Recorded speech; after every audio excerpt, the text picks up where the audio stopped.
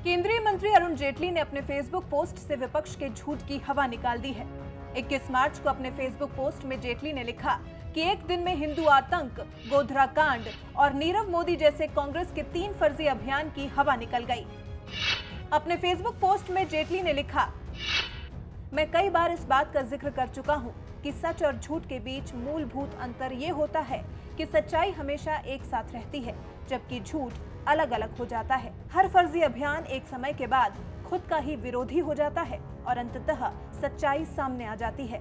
चाहे वो चुनावी परिणाम हो या फिर न्यायिक व्यवस्था का कोई फैसला ही क्यों न हो। हिंदू आतंक का शातिर सिद्धांत।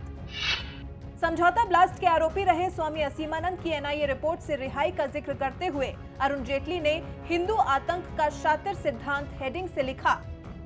हिंदू आतंकवाद का शातिर सिद्धांत यूपी के शासनकाल में गढ़ा गया और इसे बढ़ाने का काम उस वक्त के मंत्रियों और नेताओं ने किया। ये सिद्धांत जिहादी आतंकवाद से ध्यान हटाने के लिए गढ़ा गया और अपनाया गया था। ये साजिश आतंकवाद पर भारत के उदार प्रवृत्ति वाले बहुसंख्यक लोगों को एक बुरा नाम देने के लिए रची गई थी। हिंदू सभी को अपने समतुल्य समझते हैं। 2002 का गोधरा ट्रेन कांड। अपने ब्लॉग में 2002 के गोधरा में साबरमती एक्सप्रेस में आगजनी का ज़िक्र करते हुए वित्त मंत्री अरुण जेटली ने लिखा। साल 2002 में गोधरा में साबरमती एक्सप्रेस में आग पूरे राज्य में सामाजिक और सांप्रदायिक सद्भाव को तनाव में बदलने के लिए लगाई गई थी। इस केस के आरोपियों को पहचान लिया गया था और उनके खिलाफ कई सबूत भी मौजूद थे। इन पर चार्जशीट हुई और इनकी जमानत की अर्जी को सुप्रीम कोर्ट तक ने खारिज कर दिया। वहीं इस मामले में यूपीए सरकार ने सबसे गैर जिम्मेदाराना कृत्य किया। और उस वक्त रेल मंत्री रहे लालू यादव ने इस मामले में बिना भारत के चीफ जस्टिस, सुप्रीम कोर्ट के पूर्व जस्टिस, सुप्रीम कोर्ट के जज श्री यूएन बनर्जी से बिना परामर्श लिए रेलवे आयुक्त को इस मामले की जाँच के लिए चुन लिया। एक रिपोर्ट पेश की गई थी, जिसमें लिखा गया था कि आग उस डिब्बे के अंदर लगी थी जहाँ हिंदू तीर्थयात्री मौजूद थे।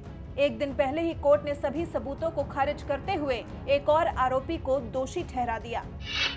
नीरव मोदी की गिरफ्तारी। अपने ब्लॉग में वित्त मंत्री अरुण जेटली ने आगे नीरव मोदी की गिरफ्तारी के बारे में लिखा और यूपीए सरकार पर निशाना साधा।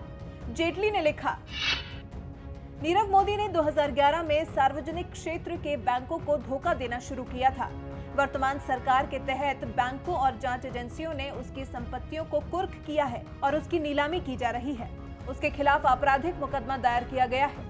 ये हमारे जाँच एजेंसियों का ही कमाल है कि हम उसका पीछा करते हुए उस तक पहुँच गए।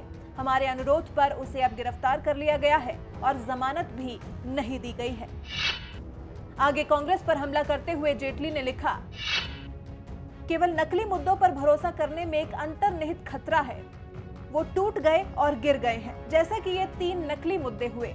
मुझे उम्मीद है कि नकली अभियान के निर्माता कुछ सबक सीखेंगे। गौरतलब है कि कांग्रेस इन तीनों मुद्दों पर बीजेपी को घेरती रहती थी।